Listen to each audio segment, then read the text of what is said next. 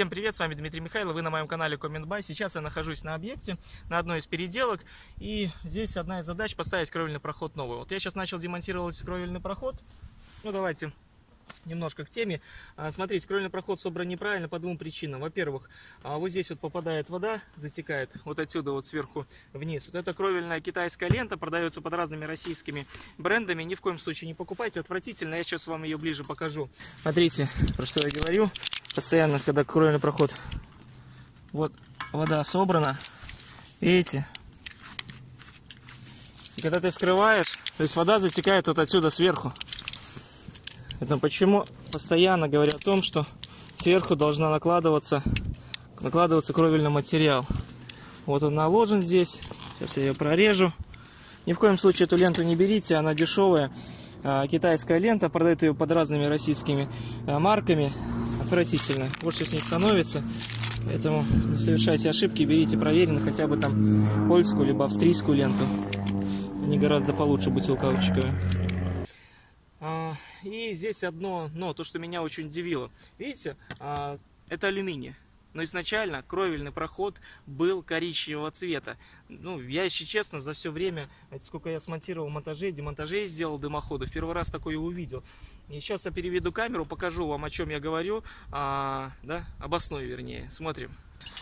Смотрите, вот эта вот а, лента, она такой современный оттенок, она изначально товарный вид у нее, она такая, у нее не чистый цвет, он такой зеркальный, непонятно какой. А, вот эта вот российская лента, ну это китайская, вернее, лента продается под российскими брендами. И вот смотрите, кровельный проход. Видите, алюминий. А здесь коричневый цвет, стандартно коричневый цвет 8017 по ралу.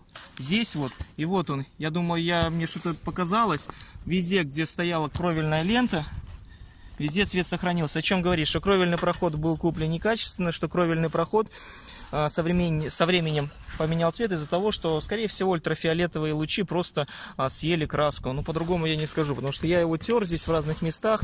Ну, ужас просто. Первый раз такое видел. Хотел бы очень сильно узнать, где этот кровельный проход у кого покупался. А, не знаю, какого производителя, потому что он уже старый. И это тоже, я не могу сказать, силикон это или резина. А, похоже, что-то на силикон, но может быть и резина. Очень много, он простоял, сейчас скажу, не очень много времени. Он простоял полтора или два года, как я здесь на этом объекте оказался.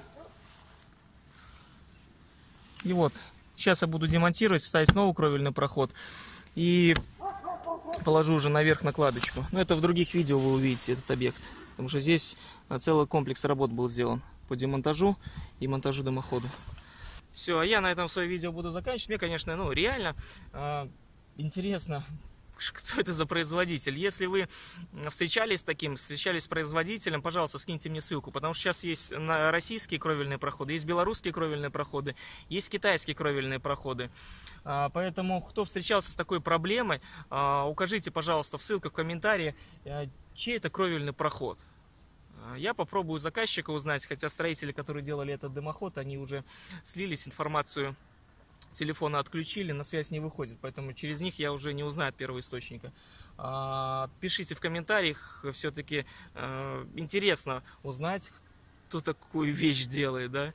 Очень интересно. Все, с вами был Дмитрий Михайлов, Комментбай. Подписывайтесь на мой канал, комментируйте, ставьте лайки, дизлайки. Всем хорошего настроения, до новых встреч, а я буду работать. Пока.